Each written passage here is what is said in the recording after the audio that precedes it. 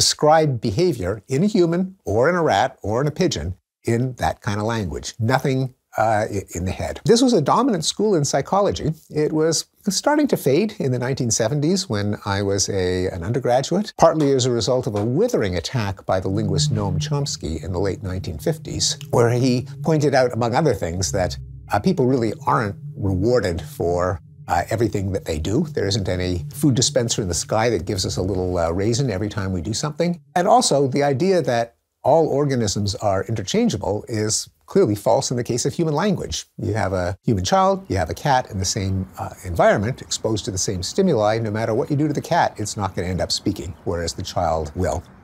Chomsky's critique led to what is known as the cognitive revolution, starting in the late 1950s, gathering steam through the 1970s, where uh, the whole idea of mental life was scientifically rehabilitated.